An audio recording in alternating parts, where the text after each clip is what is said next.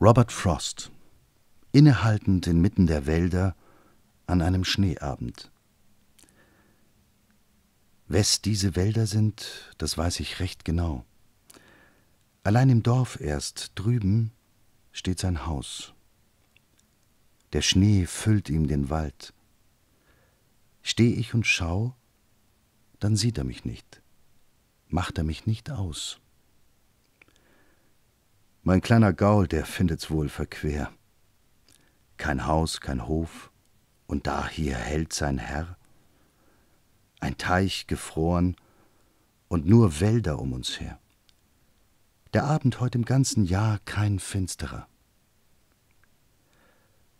Das Zaumzeug schüttelt er, die Schelle spricht.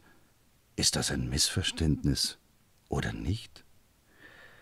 Ich lausch und horch, ich hör sonst nichts.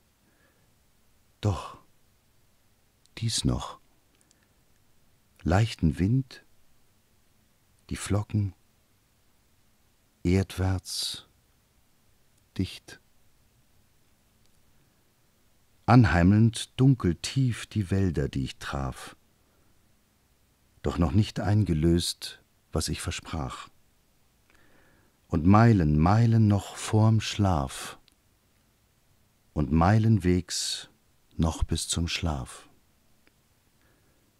Übersetzung von Paul Celan